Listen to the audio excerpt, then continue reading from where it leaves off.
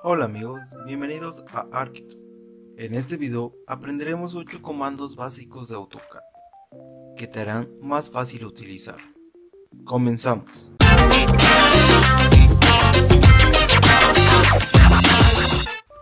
El primer comando y el más útil es line y se introduce escribiendo L, Enter. Damos clic en el plano y ya podemos dibujar líneas. Para darle una medida a la línea, solo pondremos la medida que queremos, en este caso 5 metros.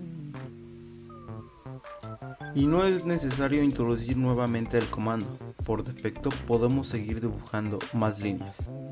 Entonces haremos un cuarto de 5 por 5. Para cerrar el cuarto utilizaremos el comando closet y se introduce escribiendo C, Enter. Para darle el grosor de los muros utilizaremos el comando offset y se introduce escribiendo O, Enter. Y le daremos el grosor de muro, en este caso será .15.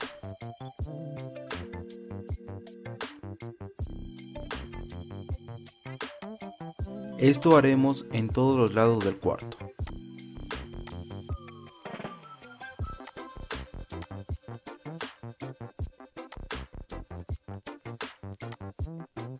Ahora, para limpiar las líneas que se cruzan utilizaremos el comando fillet y se introduce escribiendo F, Enter.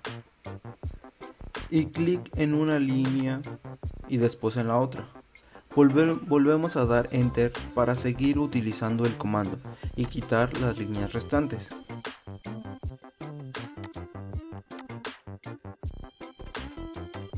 El siguiente comando es extend y se introduce escribiendo EX, enter.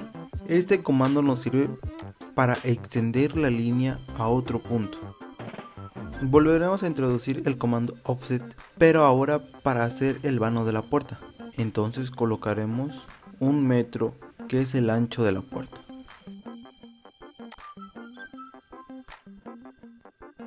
Para abrir el vano donde irá la puerta utilizaremos el comando trim y se introduce escribiendo tr enter.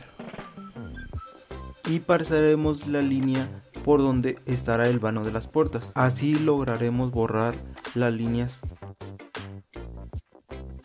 Para unir las líneas y convertirlas en una polilínea utilizaremos el comando join que se introduce escribiendo J, Enter y seleccionaremos todas las líneas.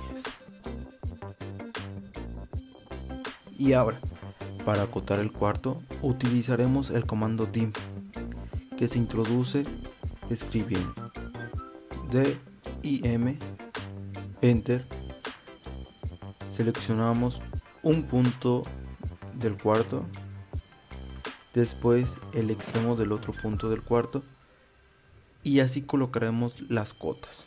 Espero estos comandos les hagan más fácil el utilizar AutoCAD. Si es así házmelo saber con un like. Suscríbete para ver más videos.